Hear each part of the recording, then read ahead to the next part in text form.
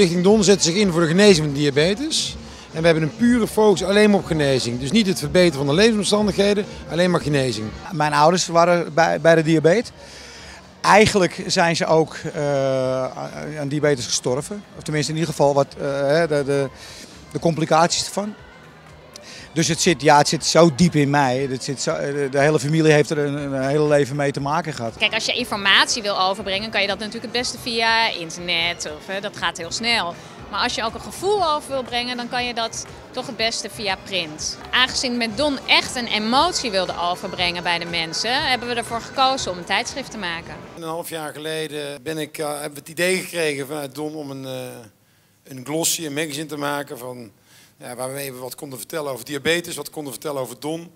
En uh, iedereen heel erg veel dank voor het mogelijk maken van het magazine. Dankjewel.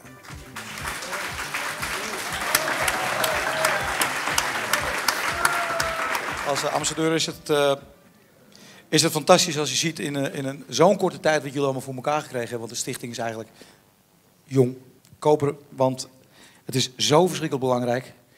En ik kan niet wachten op het tweede exemplaar.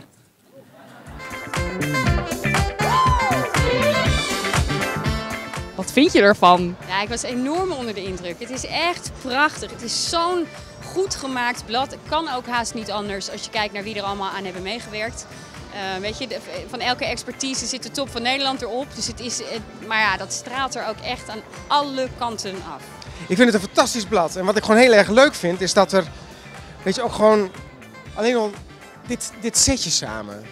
Dat vind ik geweldig. Het is echt zo'n ondergeschoven kindje waar niemand het over heeft. Als je ook in het nieuwe blad ziet dat ook gewoon een Morgan Freeman, allerlei MTV-stars ook uh, één of twee hebben op die manier diabetes. Dan denk je, ja, het is natuurlijk een veel groter ding dan alleen het buurmeisje wat je een keertje hoort of iets dergelijks. De aandacht is heel erg belangrijk omdat het nog steeds een onderschatte ziekte is. En er veel meer mensen met diabetes rondlopen. Veel meer dan menigeen die je op straat zou vragen zou beseffen. Ik denk de samenwerking tussen Wind Publishing en de Stichting Don heeft ervoor gezorgd dat we echt iets neer hebben gezet waar we met z'n allen ontzettend trots op kunnen zijn. Dat ben ik ook echt. Ja, ik vond het super om het mee te maken. Het is natuurlijk weer iets heel anders. Maar ja, dat zoveel mensen ons hebben geholpen, belangeloos hebben geholpen met het maken van het magazine.